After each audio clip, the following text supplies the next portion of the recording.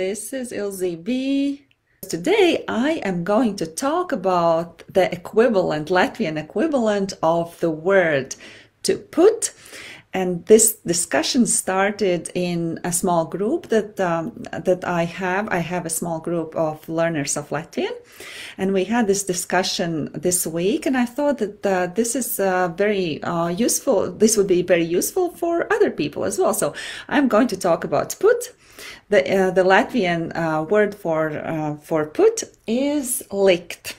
And uh, why this is confusing is often why people, when, when they look up the word in the dictionary, but still cannot figure out how to use it, is because Latvian uh, English speakers think the way English speakers do, and Latvians uh, who teach Latvian to English speakers think like Latvians, and there often is a disconnect. First of all, if you were to look the word put, the English word put in the uh, put uh, if you were to look it up in a dictionary in an English dictionary you would see a long long list of uh, of word combinations with put and when you are thinking in English how to use the word put, you often disregard the, uh, another word that goes together with put. So uh, you expect uh, to use it the same way in Latvian. It doesn't work that way in Latvian. So let's say, for uh, for instance, in English you would uh, use uh, word combinations to put up, to put down, and to put down, for instance, may uh, may mean to kill, like an animal, right, or to euthanize, right, and to put up or to put up with is to to um, for instance, you don't like something, but you tolerate it. So it would be tolerate. So you see, there's a totally different meaning. And similarly, uh, in Latvian, we also have uh, little changes to the word uh, that translates as put in English. By the way, the word, like I, uh, I didn't give you the word, the infinitive form of the word to put is um, to put is likt Okay, this is this is the word's infinitive form. Uh, so, likt, when we think about uh, just to translate this word is likt. However, in Latvian, we often use prefixes for words, and prefixes of words uh, prefixes are the confusing part often the confusing part why people don't understand likt but not only there's another thing uh, this is a very short word, one syllable word, and one syllable words are the so-called first conjugation uh, words. And uh, what what that means, so that I don't uh, need to go uh, too much into theoretical detail, it means that it simply changes forms very much, so that you can often you you often cannot even recognize it. Like for instance, if I want to say, for instance, if I want to say, I put uh, it doesn't look like this. This word uh, immediately changes. So I put in Latvian would be es lieku.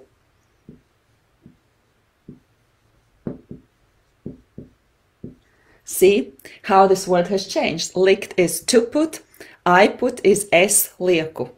So uh, uh, one more form, like for instance, you put, you put immediately looks different too. Tu liec. See how it changes? Yeah, and, and that is confusing, right? There's one more thing. Tu liec, if you don't know the context, uh, can also mean a different word. It can mean you bend. And the infinitive form of the word bend, uh, to bend, I don't know if you see bend. The infinitive uh, form of the word to bend is liekt. See, it's a different word, likt and liekt. But this form with the word to is exactly the same, to liec. So for you to understand it, you just need to know the context, right? But now let's go to the let's go to the prefixes that I started talking about, so that we can discuss uh, the, how prefixes of the word likt changes can change the meaning or add uh, clarification for the word.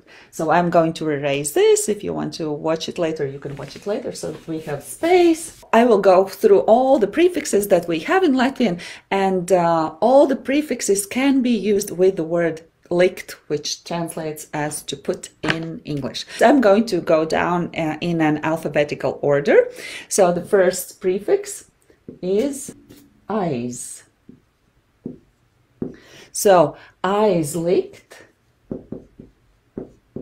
eyes licked. the prefix aiz means behind. So if you if you are using the word aizlikt, it typically uh, means to put behind something behind something else. The example that I gave uh, to my students was put uh, the book behind the glass on the shelf. Like for instance, you have a wall unit and you have shelves, shelving, and then there's glass in, in front of it. So you can say aizliec aizstikla, aizliec aizstikla. And we would, in Latvian, in a Latvian sentence, we would even use that preposition again. So it would look aizliec,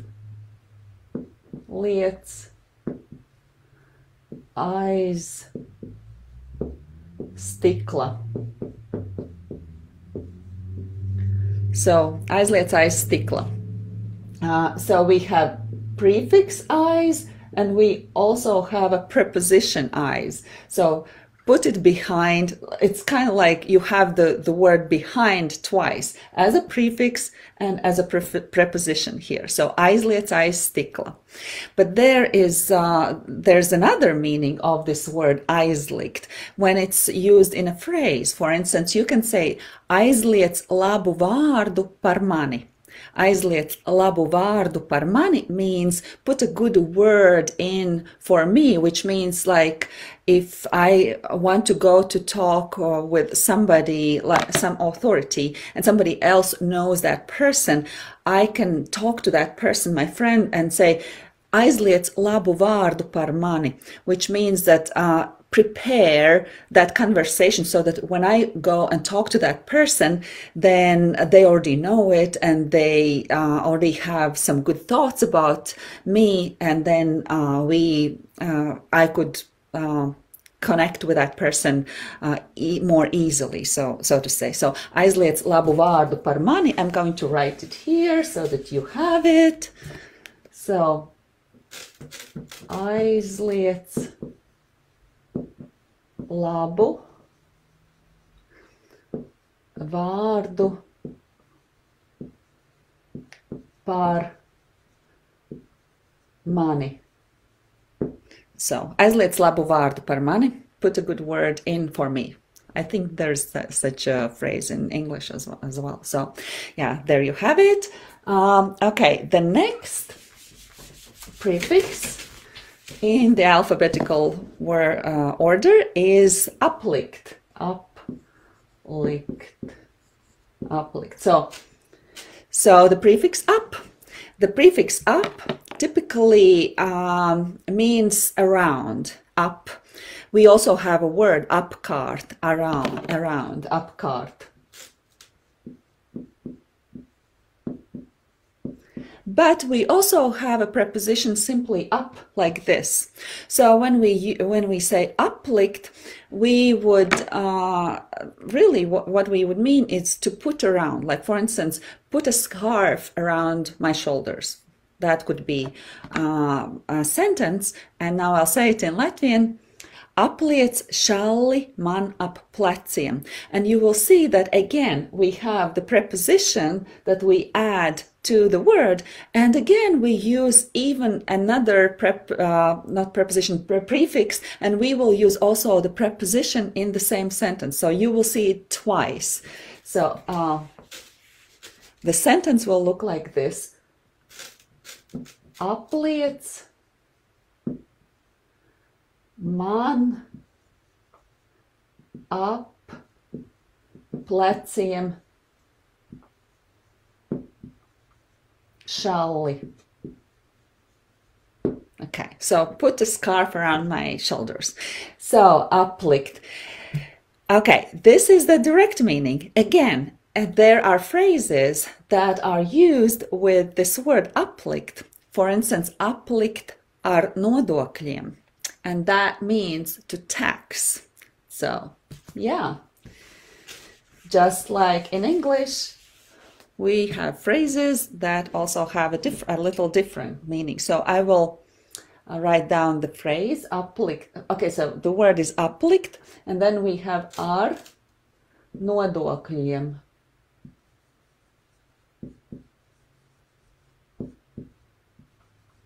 So nodokļi is taxes, and uh, literally it would be uh, put taxes on, on something. So to tax, aplikt ar nodokļiem. That is a phrase that we use in Latvian.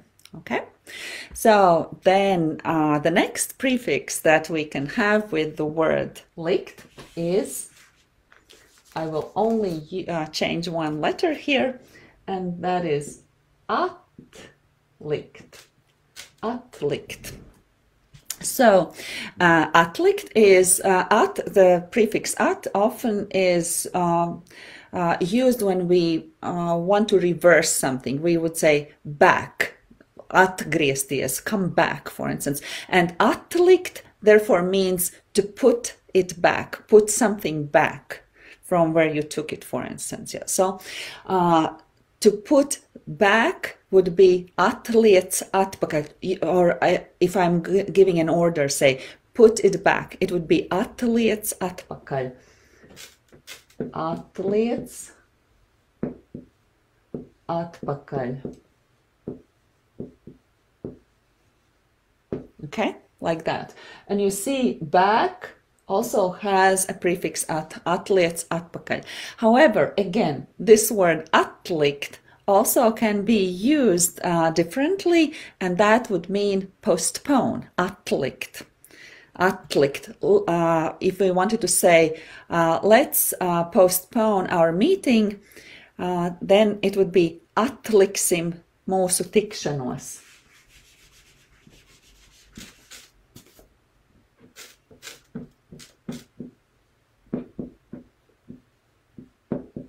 In fact, we don't even need to use the word um, mūsu, which is our. In Latvian, we would uh, simply say atliksim tikšanos. Atliksim tikšanos. Okay, so. Uh, okay, so this is postpone. All right, we are uh, we have gone through all the prefixes that starts with a or in English you would say a, and we are going to now go to uh, two prefixes that starts with e, or English uh, speakers would say I. So the next prefix is ie.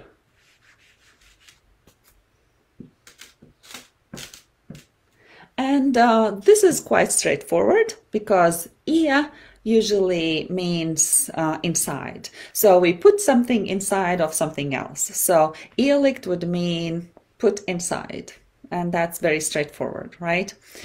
Um, uh, uh, when I think about phrases uh, in uh, that would not be so straightforward, uh, I would um, immediately think about a school when we uh, grade students as teachers to grade students, and then they could say, for instance, grade well or give a good good grade or give give a good mark. So that would be ielikt labu atzīmi. Ielikt labu ielikt labu atzīmi. So yeah, that that can also be a meaning of ielikt. All right, now uh, a different uh, prefix, the second that starts with I, is is izlikt. So izlikt is uh, typically is the opposite of ie. Is is to take out something, to remove. So izlikt uh, would uh, if you think just uh, about is is to take out however this is interesting um, because uh, to put inside um, to put generally the opposite of to put would be to take right? And to take out would be a different, uh, different word. It wouldn't be put, it would be take. Therefore, this word specifically is not used uh, in the meaning of take out. It has a more narrow uh, use, and it would be, for instance, if we say to out to put out for display, to display so that uh, others can see. Or to put out of the house like for instance uh, to put out in the sun uh, for uh, if if we have uh, house plants, for instance, and we want to take uh, put them out in the sun for summertime, that could be also the meaning. And the third meaning is izlikt noa uh, maya. That would be to kick somebody out out from uh, their house because they probably are not paying rent. So izlikt no mājām. Though this would be like specifically uh, when you put something out of uh, house really. Like the house uh, the plants temporary for summertime or people who do not pay uh, rent. That would be easily how we use it. Okay so maybe I'll give you, I'll, I'll write it down here. Izlikt no mājām. So izlikt no mājām is uh, a set expression to, to kick out of the house. Izlikt no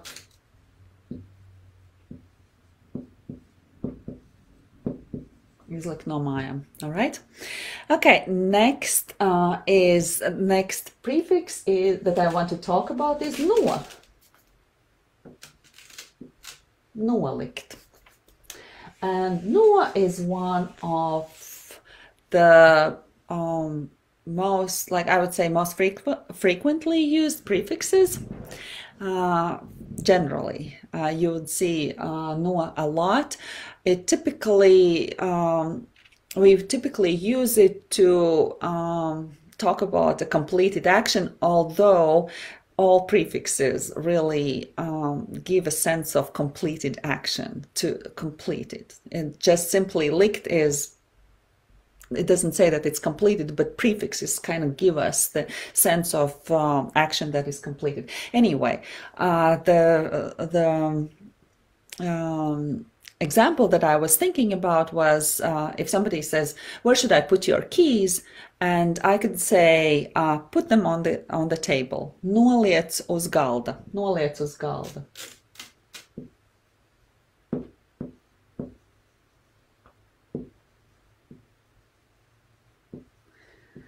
So uh, this is interesting because you see here we have a uh, preposition uz. So uh, what I want to draw your attention to is that uz can also be a prefix and we can have uh, the, a word uzlikt.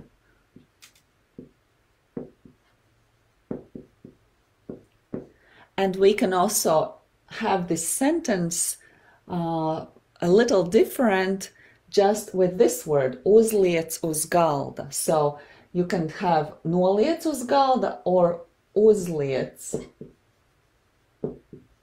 uz galda. So what what does uz, uz mean? Uz means on or onto. So you can say noliec uz galda, which would mean put it on the table, or uzliec uz galda, and, and that would also mean put it on the table. So that's that's just how Latvian works. All right. Uh, now uh, I have gone uh, through uz, so I'm not going to come back to uz, but I have uh, four more prefixes to go through. And um, okay, I'm erasing this. And uh, the next prefix is palikt.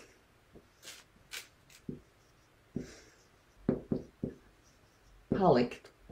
So when you see the prefix pa, uh, generally with other words as well, pa uh, typically signifies a short or brief action. It's just like a slight movement. It's not like uh, it doesn't have that feeling of something like completely changing or something.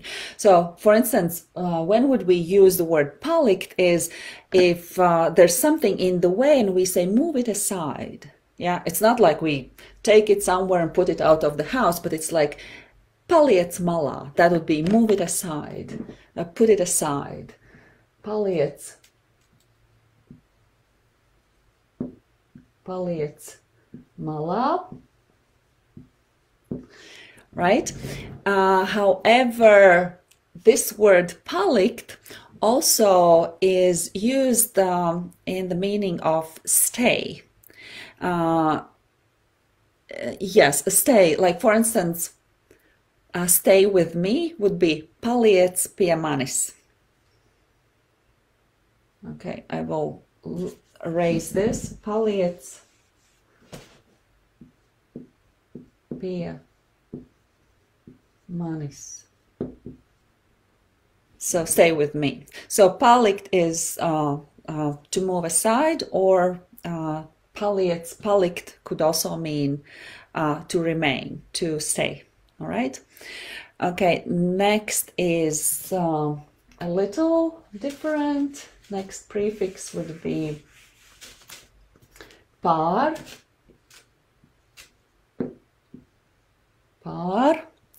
And uh, the preposition par typically uh, means to to cross over, to, to do something over, right? So um, the example that I was thinking about was like, for instance, uh, and this was given um, to me uh, or asked uh, by one of my students. She she said, uh, "Can I use it like for if a cat is uh, given over a windowsill to somebody?" Because she had that situation actually. So she uh, so yeah, pārliec kaķi pāri palodzei. So when again when we have a sentence, we would have the prefix pār, but then again with within that sentence, we would still have a preposition pāri.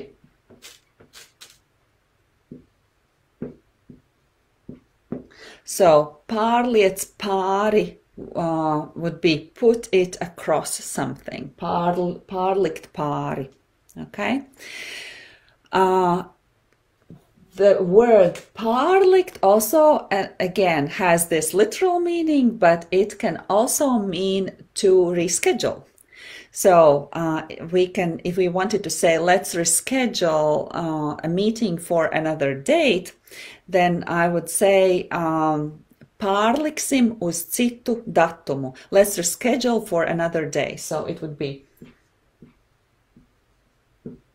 pārliksim uz citu datumu. Pārliksim uz citu datumu. Okay? And uh, what else do we have? Two more. Um, okay. Um, well, you can watch it again if you're interested. I'm, I'm erasing this. So. Pielikt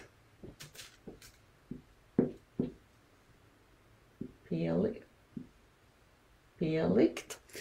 So pielikt uh, means to to add or yeah to attach.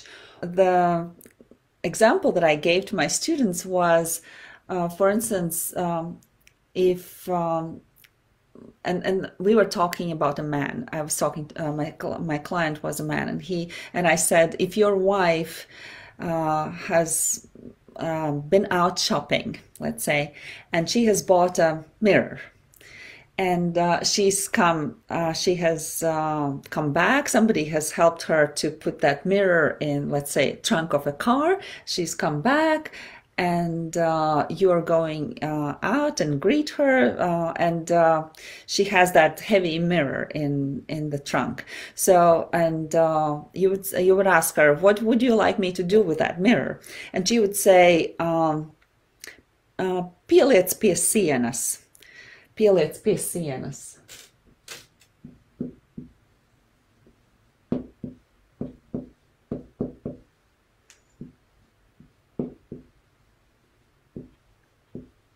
Pieliec pie sienas.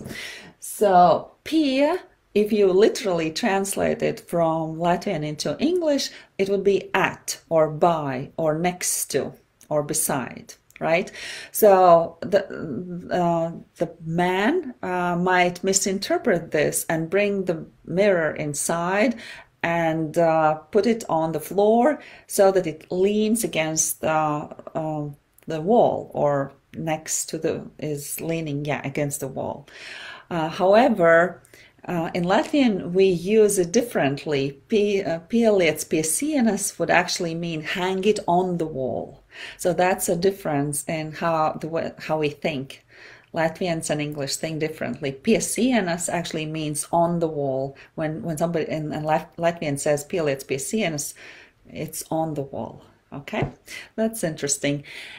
All right, then the next is um, salikt.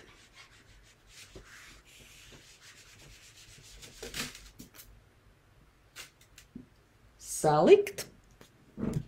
And uh, salikt uh, usually means to um, uh, put it on in order, like construct something or organize well. So, so for instance, uh, um, a mother can uh, tell uh, her children, salieciet mantas vietā. Salieciet mantas vietā.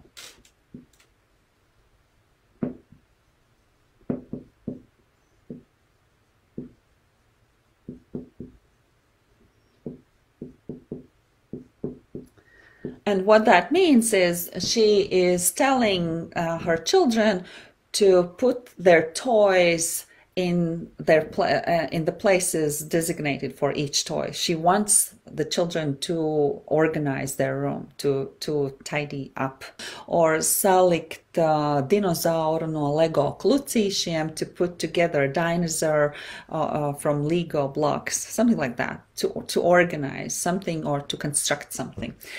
All right, and uh, yeah, that's that's that. I could talk more about this because now uh, next thing to talk about would be the conjugations, like how how this word changes uh, depending on what person uh, we are uh, using, like either he, she, it, which uh, we don't have it in Latvian, but uh, viņš, viņa, viņi, viņas. Uh, then the the word would change. Also, uh, for each person, it would change in the past form and in the future form. But I think that would be a discussion for another time. Or what I would really like you uh, to, to know is that we have um, now Latvian for English Speakers Club. Latvian for English Speakers are, uh, as abbreviated, it is called L4ES, and we have a, an L4ES club. And uh, what that means is that people who are in this club, they receive uh, issues like uh, two issues a month and in the in those issues there are all kinds of uh, exercises where i explain things really in detail. You can go through those exercises. I have rec- uh, recorded my voice. My colleague irina also records videos and voices. We uh, also prepare uh, this issue uh, so that um, it's themed. Like for instance uh, the la- last issue that we issued yesterday is uh, the theme is food and uh, traditions, Latvian Meteņi tradition. We are talking about that, and we have um, collected uh, Latvian uh, um, songs uh, about Meteņi traditions. We are giving also culture uh, news in English, and uh, there there are exercises for reading, for expanding vocabulary for uh, pronunciation. Um, there's um, and exercises are multi-level. So that, for instance, I I really liked the exercise that I created which was a poem that I read. And poems are really good for beginner learners because they rhyme and it's easier to uh, to work on the pronunciation and memorization when words rhyme. I'm uh, reading it uh, in a very clear pronunciation.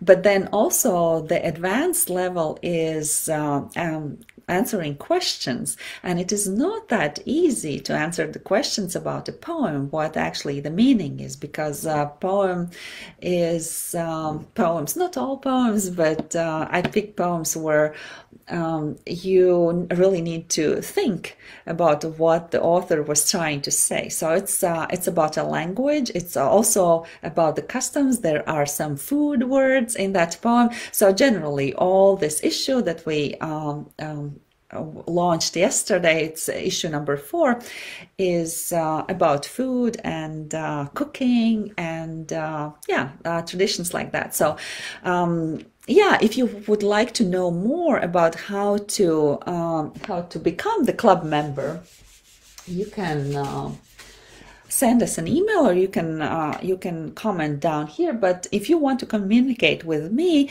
uh, the email my email is ilzi at ilzb.com.